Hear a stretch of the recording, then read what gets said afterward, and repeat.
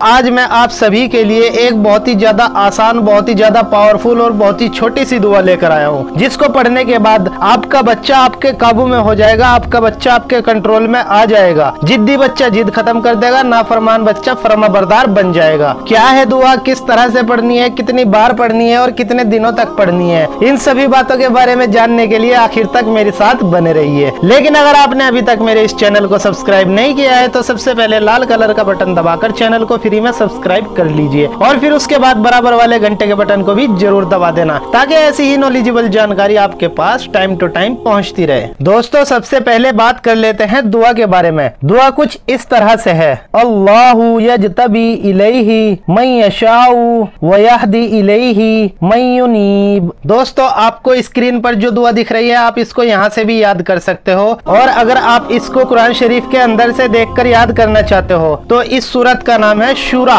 और आयत नंबर है तेहरा वहाँ से देखकर आप इसको बहुत ही आसानी से याद कर सकते हो। चलिए अब बात कर लेते हैं कि इसको किस तरह से पढ़ना है। जो बच्चा जिद्दी, नाफरमान और बिगड़ा हुआ है, उस बच्चे के सर पर हाथ रखकर इस दुआ को ग्यारह मरतबा पढ़ना है और फिर पढ़ने के बाद बच्चे के ऊपर दम कर देना है, बच्चे के ऊपर फूंक मार देनी है। इस अमल को आपको लगातार इकतालीस दिन तक के करना है। इकतालीस दिनों के बीच में एक भी छुट्टी नहीं होनी चाहिए। इनशाला शुरुआती दिनों से ही, पहले दिन से ही आप देखोगे कि आपका बच्चा सुधरता जा रहा है, आपका जिद्दी बच्चा जिद कम करता जा रहा है। आप इस दुआ को पढ़िए और अपने बच्चों को सुधारिए। आज के लिए सिर्फ़ इतना ही। आज की ये जानकारी आप सभी को कैसी लगी है, मुझे कमेंट बॉक्स में लिखकर ज़रूर बताना। और इस जानकारी को अपने दोस्तों और रिश्तेदारों में भी शेयर कर देना, ताकि वो लोग भी फ़ायदा उठा सके।